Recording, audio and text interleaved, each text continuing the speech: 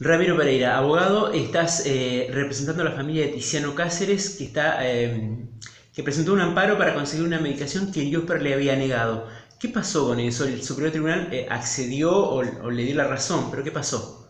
Bien, sí, la, la, sala número uno del Superior Tribunal de Justicia hizo lugar a la, a la, acción de amparo este, que nosotros habíamos presentado, revocó la sentencia de la jueza de primera instancia en materia de amparo, la doctora Mastaglia, y entendió que eh, primaban este, los este, derechos humanos eh, plasmados en numerosos instrumentos internacionales con jerarquía constitucional, entre otros la Convención sobre Derechos del Niño y también eh, la Convención de Personas con Discapacidad.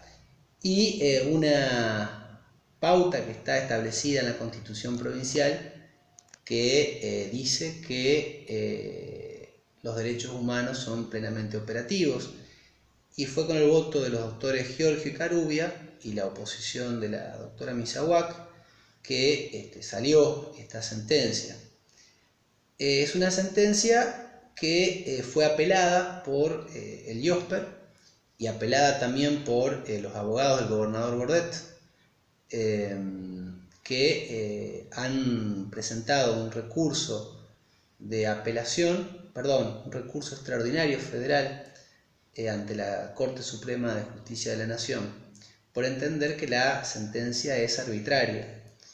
¿Y cómo sigue ahora la cosa? Bueno, ahora nuevamente la palabra la tiene la sala número uno del Superior Tribunal de Justicia, integrado por eh, Giorgio Carubia y, y la doctora Misawak, donde tienen dos opciones. Una es conceder ese recurso extraordinario federal ante la Corte Suprema de Justicia de la Nación y la otra es no concederlo.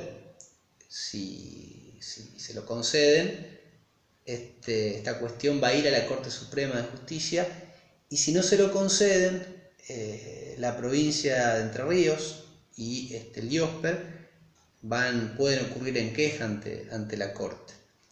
De todas maneras, eh, en cualquiera de las hipótesis nosotros vamos a, insistir en eh, la necesidad de que se ejecute esta sentencia.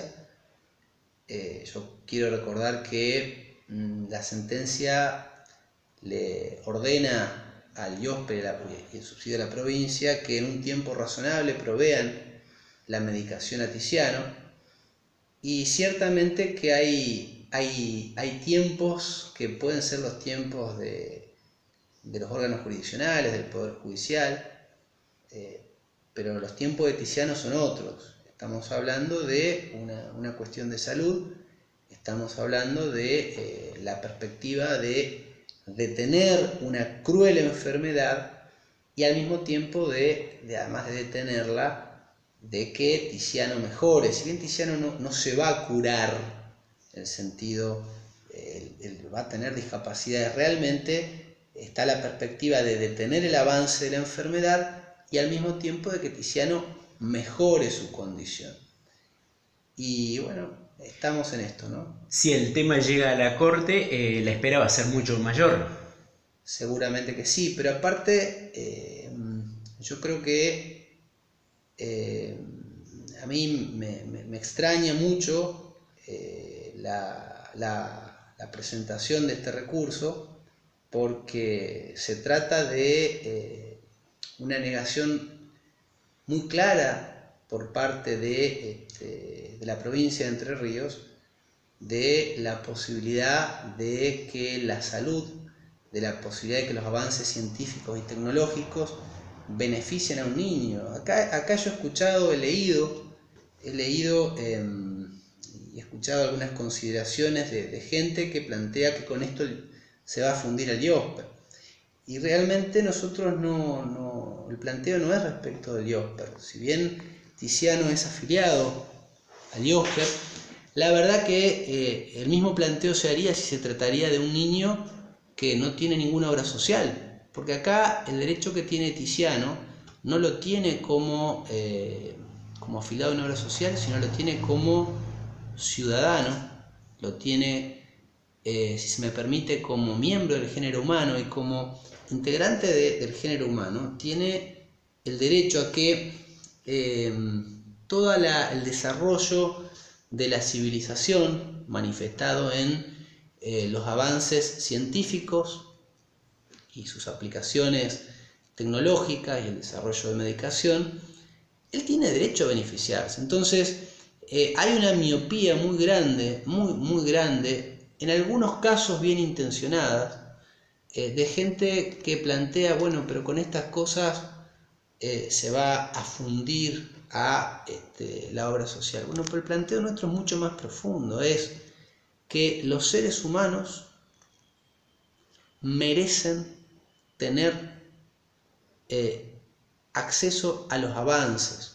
En todo caso, después habrá que discutir, habrá que eh, fijarse políticas eh, para ver cómo eh, se, se, redistribuyen los recursos, cómo se hace para que estos casos donde realmente hay que, hay que, tiene que haber erogaciones importantes, no afectan, este, no afectan este, los presupuestos de las obras sociales o los presupuestos de, las provincias, pero eso es otra discusión vinculada. Acá lo, que se tiene que tener en cuenta es que hay derechos, derechos, eh, hay recursos, hay recursos y eh, debe cumplirse en consecuencia con lo que dicta la Constitución y lo que dicta además, si se me permite, eh, una idea de lo que es la justicia que trasciende el derecho.